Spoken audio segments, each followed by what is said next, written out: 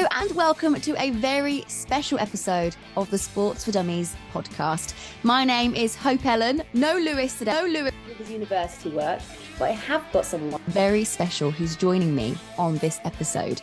Now, she is the eighth in the world for the Functional Fitness 2022, the World Bench Press Champion, CrossFit to semi finalist 2022, sixth CrossFit Master in the world 2022, and a coach. It's the incredible Ruta Ledreitner. Did I say it right? I said it wrong. no, it, it was wrong. Lendraitiene, but it's Yeah, fine. we practiced before. Oh, I'm so sorry. Um, thank you so much for your time. I know you're a very busy lady. You've got so many plates that are spinning. Um, and we've been trying to arrange this for quite some time, haven't we? Uh, yes, de- definitely. For, probably for a couple of months, we were kind of trying to arrange it. Life always gets in the way, but I'm pleased that we're here. Um, and actually, you've just come back from something very exciting, haven't you? You've been at the Masters World Functional Fitness Championship. Tell me all about that. Uh, that's right. So the the championships were in Aruba, um, obviously for all different age uh, groups, and uh, it was the competition was for three days: Friday, Saturday, Sunday. Um, every day it was two different workouts that we needed to do, um, and yeah. So and I came uh, finished uh, eighth. Brilliant. Yes. What's it like going to all these different countries and competing? I bet you meet so many people.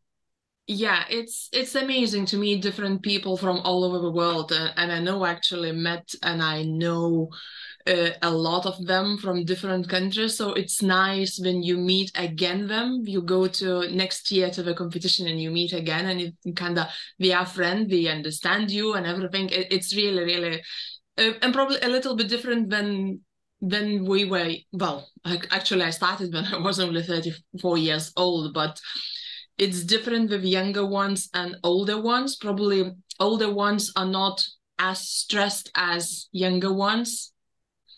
Why so it's a lot calmer, a lot nicer. I don't know, maybe probably more experienced people not not taking as much into well yeah whatever will happen obviously everybody wants to win but whatever happens you support each other and uh, doesn't matter so everybody more relaxed I imagine as well that maybe in your personal life, friends and family who don't do what you do don't necessarily understand it. Whereas these people who are competing, it's kind of like a, a community. You all know what it's like, the sacrifices, the training. Oh yeah, definitely. Um, and initially, when when I started, even my husband wasn't kind of supporting me. It, it was like, oh, you're spending so so much time. You are not at home. You are somewhere else. You are doing your training, and uh, yeah, and other people, well, well, you are old enough. Like again, it's that age. People think, okay, you you are not like 20 years old. So what were you expecting? And you know why why why you are spending all that time? Basically, that's how pe- people are thinking. So, how did you win your husband over? I think he just didn't have a choice because I, I said I, I like it and I still was kept going to my my training sessions. So yes, just got used to it and now obviously he supports me. That could have stopped a lot of people, actually, couldn't it? If they thought that it Yeah. was, if they thought, oh, I'm doing this, I like it, but uh, my family is suffering, or that Mm. they feel like they're suffering, that could have made someone say, oh, no, no, I'm not doing it. So, good on you for sticking it out. Ah, thank you. I, I think it made me feel well. Training makes me feel very, very happy. I feel more relaxed after it, and uh, it was my probably escape from everything in a way. So that's why I no way I was going to give up. So Let's go back to the beginning of kind of your life and we'll go to your Yeah. childhood because looking on your website, you've described yourself as someone who was quite shy and found it difficult to communicate. Why was that? I don't know. I it, it was from early age, from when I was little. I always used to hide behind my mom. I was so um n- no confident whatsoever. I was I don't know. It just that's the way I was, and uh, I grew up, and uh, still as an adult, I wasn't very kind of confident person as well until I started lifting weights. That's when I changed and kind of got my confidence. Um, got happy the way I look and how people looking at me and everything. So I think that's when everything changed. It's like you found your superpower. well, yeah, pretty much, yeah. So were you a sporty child at all? Well, no, I d- didn't do anything in sports, but I was very strong all my life and very athletic, let's say. Yeah, at school, I always was the first in my class in PE. I I always kind of was doing and I was successful in in PE whatever I was doing, but uh, the only thing as a child I did um, gymnastics for half a year and that's about it. Then when I was six years old, and that's it, and nothing nothing else. Didn't do any other sports other than PE at school. And I suppose if you were struggling with your confidence, you wouldn't necessarily want to put yourself out there. Well, correct, yeah. Yeah.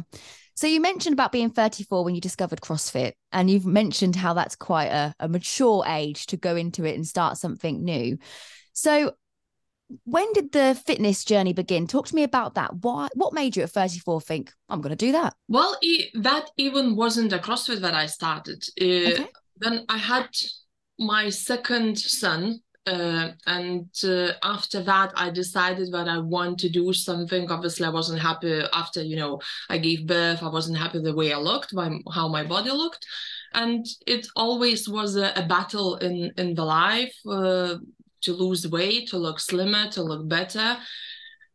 And I think after that, I started looking what I could do, where I could go, because mm, normal commercial gyms I never enjoyed. I, I used to go for a month and I would quit. It was just too boring for me. Never, never enjoyed, so never lasted in them.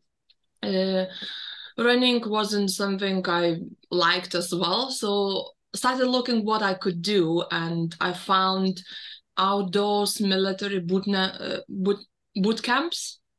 So that's my first bit that I started doing, going to those.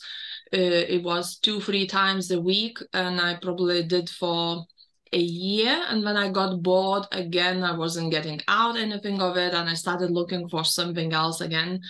And that's how I, I think I, I saw one of the girls who used to go to those boot camps. Um, Instagram or, or on Facebook that she was doing jumping on boxes and lifting some weights.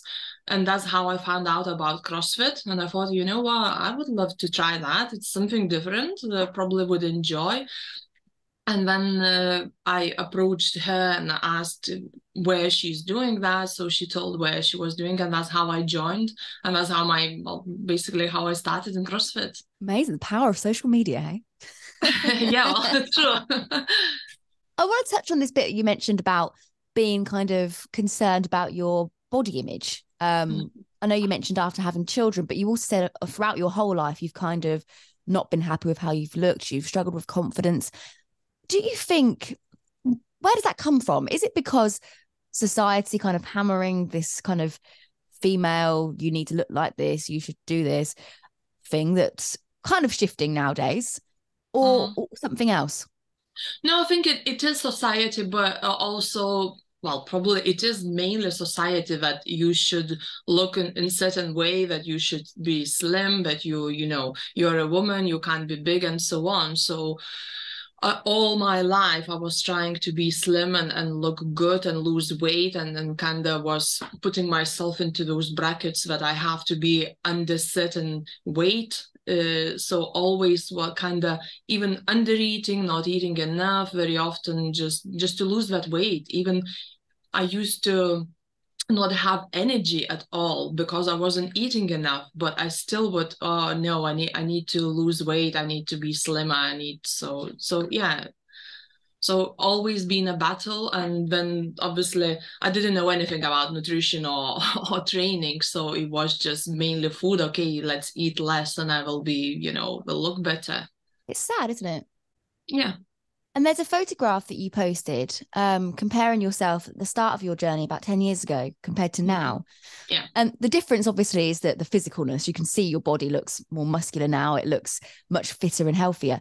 But your face you look so much happier you look more confident you're standing with your your shoulders back you're looking kind of like reborn almost to this new confident version of yourself and your face is glowing now compared to then so you must feel if you look back at that old version you must feel sorry for that person almost because you're just like oh no you're doing it all wrong bless your heart sort of thing well that's right and and you're absolutely right i posted that picture and i looked myself oh my god in that first picture i'm so so shy standing yeah. there all all kind of curled in and then in the second i'm i'm i'm happy i'm confident and as you say shining and yeah it and all that was down to lifting weights basically when i started lifting weights that changed the way i think about myself let's talk about the misconceptions of a female doing this mm-hmm. sport because i mean i don't know anything about it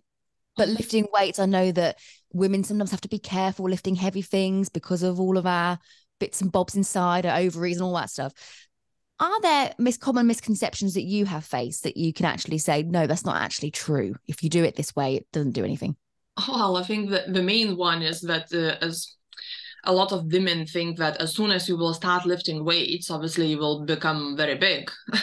You won't because for for women it's so difficult to grow muscle. It's it, it doesn't grow like for men. So it takes time it takes years until you grow that muscle and you have to eat properly.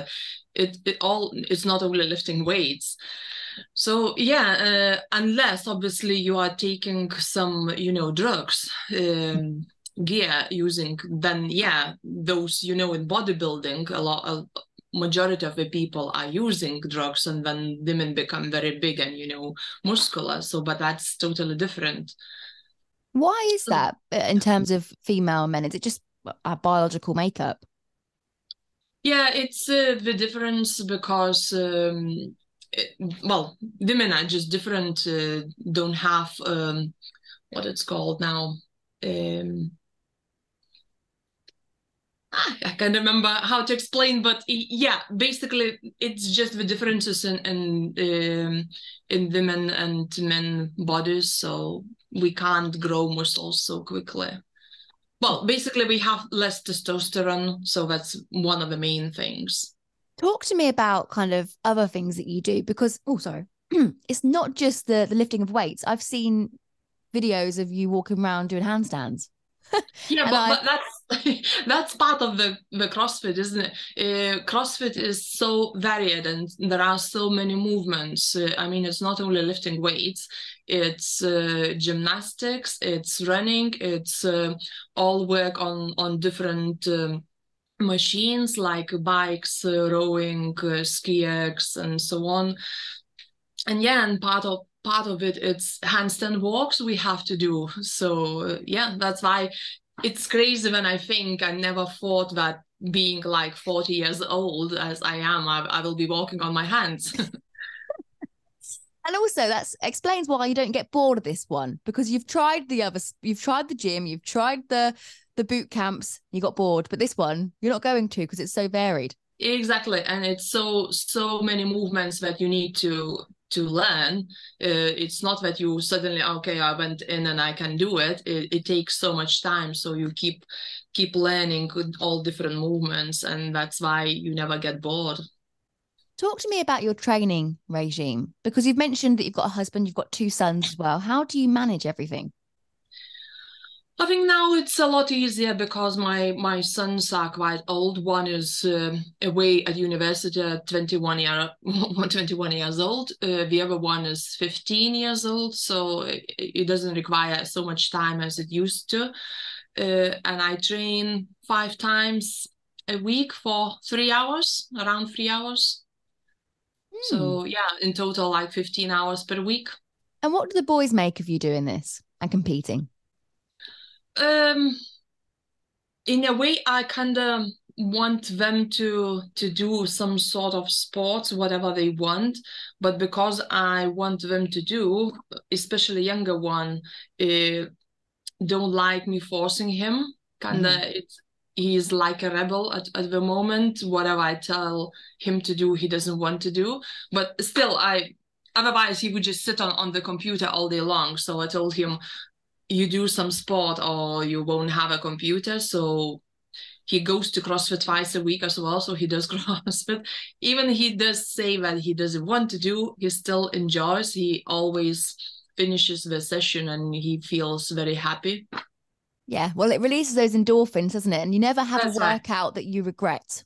Uh, no, no. Well, I mean, sometimes there are workouts that are very hard and yes. kind of pushes you to the limit. But other than that, yeah, you you feel happy after.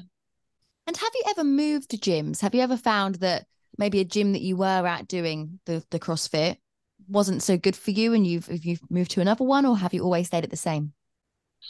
No, I've been to a few um, gyms, but it wasn't because the gyms were not good. It was because at one of the gyms I used to train all the time on my own. I, I mean, other people were around, but I had to do my own program. And it becomes very difficult to push yourself to be on your own all the time.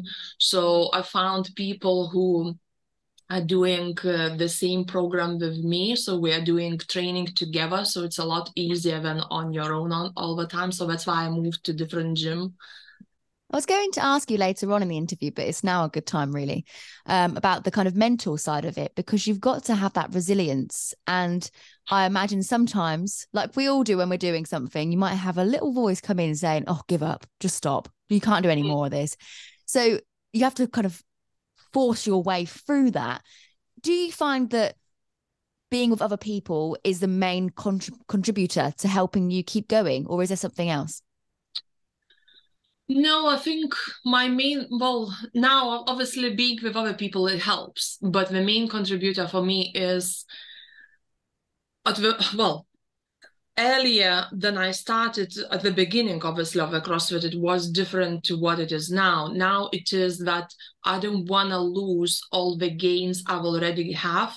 Mm. That's the scariest thing in my life now that, oh my God, if I stop, if I won't train, I will lose everything I've worked so hard for so many years. So that's what keeps me going. Obviously, the competitions as well, because after being for so many years, I want to I still want to compete, and I know if I don't put work in, I won't be able to achieve anything. So preparing for the competition obviously helps as well. You mentioned at the beginning, sorry. yeah, at, at, the beginning, sorry, uh, of of the CrossFit, I think it was just pushing myself and, and my body and see what I can achieve more than anything at the beginning of my journey. You mentioned earlier on about kind of uh, being obsessive almost about how, how you looked in terms of your body and not being happy and mm. not eating properly and all of those things. Do you think it's now an obsession too, but in a more positive way? Because you mentioned how kind of it scares you the idea that if you stop, everything's going to be lost. It, would you describe that as being a bit obsessed as well? It, probably yes, yeah. But uh, I mean, unless I decide that I don't want to compete, then probably it wouldn't be that scary if I lose a little bit. But still, the, the thought that all that work, all those hours, um, if I stop, I would lose. I would lose everything, and I would have to start again, putting all all that. I don't want. I feel. I feel happy. I feel happy the way I look, uh, feel happy in what I do and uh, what it gives to me. So I just don't want to stop.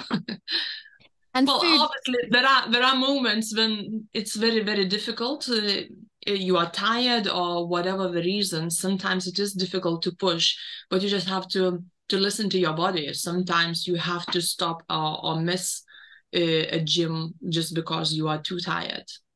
Yeah, it's it's really important to listen to your body, in, no matter no matter what you do in life. Mm. I mean, sometimes if you're f- feeding yourself rubbish food, your body's almost screaming out for some broccoli, isn't it? If you listen to yeah. it carefully, and food is a big part of of your life, isn't it? You post oh, your your wonderful breakfast that you make. The there was a, a salmon omelette that I saw on your page that's now given me a real big craving for a salmon omelette. um, talk to me about kind of your relationship with food and what what you've learned.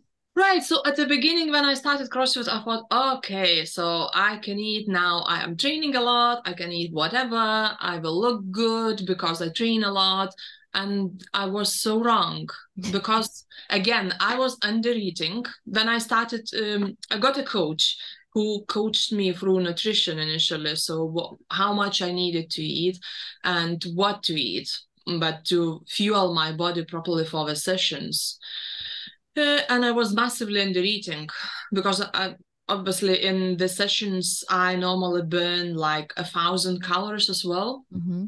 Uh, so it's a lot. So on top of that, I need to eat more than than normal in a normal day on a normal people without gym. Uh, around a day, you have to eat two thousand calories. But if I burn a, a, um, a thousand, so it's anyway. When I calculated, I needed to eat three thousand calories just to maintain my you know strength and everything and that again had my uh, his own its own challenges because it was so many calories that I struggled to eat initially. So I had to find a way how how to eat so many calories and um, it, well found a way. Uh, started eating 3000 calories and my body changed even i was eating a lot more than before my body became leaner mm. but because i was eating good proper food and was getting a lot of protein and everything it became leaner.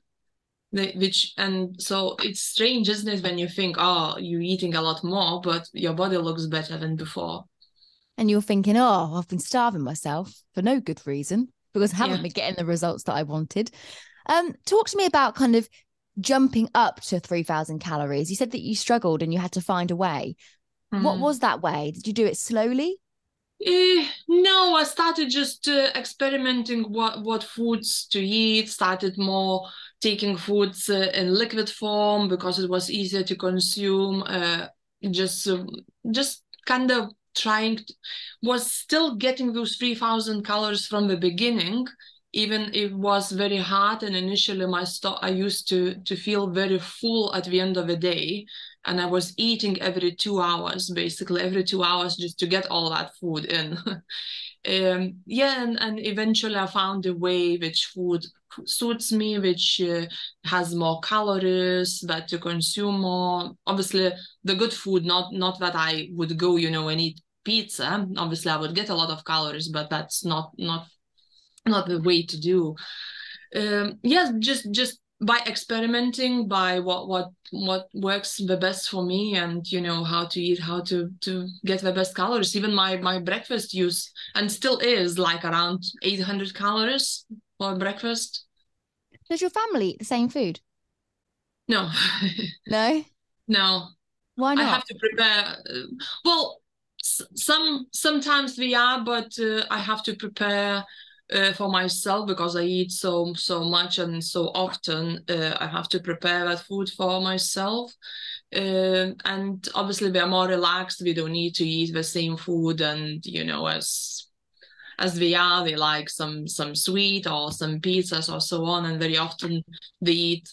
Let's say they will buy pizza, I wouldn't eat it, or would have just a little, like half, a little slice, and that's it uh, yeah so very often it's different food. And let's move on to talking about your own business because that is something that you've thrown yourself into as well. And without that confidence that you developed from discovering this love mm. the crossfit you may not have ever done. So what is what is the business? Talk to me in your own words about that so basically, eh, how initially I started just working with individuals, uh, so coaching nutrition and then giving exercise packages to to those people, but I could only work with so many people. Uh, so I decided to start working with companies. So go. So I do a, a couple of things. I go to companies do mot- motivational speeches and nutrition speeches. Um, so whatever they, they want to hear about. And the other part I offer to to companies uh, exercise and nutrition packages. So again, like for individuals, but it's for for people in the mm-hmm. companies. So and and it helps uh, all all that helps mental health um, reduce you know retainability of those people reduce sicknesses and so on. So a lot of benefits to companies. You've also um, got your own supplements haven't you? Yeah i've got a protein powder uh, just just one flavor at the moment coconut flavor and uh, yeah so selling that. How difficult is it to start doing that it's not difficult as, as long as you have money you can find obviously with um, there are a lot of manufacturers in uk it's uk is based um, uh, where I bought from. So found the factory, agreed what I want, to how I want. They designed my label and everything, and uh, yeah, so ordered from them, and that's how I started. Because um, I'm saying it's not easy because well it is easy and it's not. As long as you have money you can buy anything but you have to buy a certain amount of that protein powder. It's not that you can buy one or two. Well of course there are companies who sell you can buy just one or two but the prices are different. What makes yours different to others on the market? I think because it's a, a whey protein uh, oh it it's absorbed very quickly uh, and it doesn't have a lot of fat or carbohydrates in, in it. So it's pure protein powder, which can be taken and, and uh, by a lot of people and just to help to get to get that uh, protein intake um, daily because a lot of people are not getting enough protein per day. And I imagine the struggles that you had in jumping up the calories and mm. switching to drinking some of your meals has probably helped you understand that people struggle to get their intake. Yes, yeah. And uh, I mean, and why protein is important. A lot of people think that protein is needed only for those who are exercising. Even when you're not exercising, if you're not eating proper food, and majority are not, you're not getting enough protein and what protein does it, it helps you feel more satiated uh, so you don't crave other unhealthy food and so on. So it just uh, if you're not getting from food so how do you get it? So that helps to get your protein intake uh, just by using protein powder. Something else that you're starting or you have started is your new radio show. Talk to me about uh, that yes so obviously um, um, i've got my own show on, on aspen weight radio. Uh, initially they invited me for an interview uh, so i went to them visited had that interview and then they offered me to to have my own radio show and which is very exciting. Yeah. Yeah i bet. There's a brand new thing to to try. Are you nervous or excited uh, initially, maybe I was a little bit nervous, but I'm more more than anything, I'm excited because I can share what I know and to teach other people how to do and what to do, uh, all what I think about wellness um, in general, what you know about nutrition, about exercise, about supplements, about anything about mental health. So it's all all in that. So I can talk about anything, and that that's the topic that excites me and I'm very passionate about. So yeah, I'm happy. And when can people tune in if they if they're listening to this and thinking, oh yeah, I want to listen to that? Yeah, it's so it's uh, every Wednesday at 1 p.m. on Aspen Weight Radio, and it's uh, called the School of Wellness, my show. So good name. Thanks. Okay, and then just to end the interview today, I've got a couple more questions. I know we've we've touched on this throughout the interview, but I kind of want just a, a powerful one word answer almost. So, how has CrossFit changed your life, Ruta? I think it changed completely. Uh, as I mentioned, obviously, before, it gave me so much confidence. Uh, I love the way I look, the way I feel, the way and what I achieved. Obviously, I never even dreamed that at that age I will go to any competitions, worldwide competitions, and even become a world champion. So I think, yeah, it, it completely changed my life.